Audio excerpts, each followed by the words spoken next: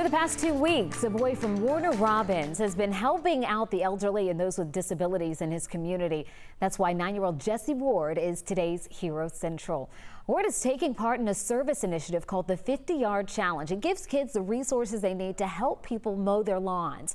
So far, Ward has helped out one elderly couple and two single mothers. He says he feels good about helping people take one thing off their plate. They said thank you. One person said this is the best my yard has ever looked, and then the other person said my yard looks really good. Thank you. Well, he plans to cut 50 yards by the end of October. He even has his own Facebook page to document all of his progress and connect with people who might be in need of his service. You can find a link to that page in our story on 11alive.com.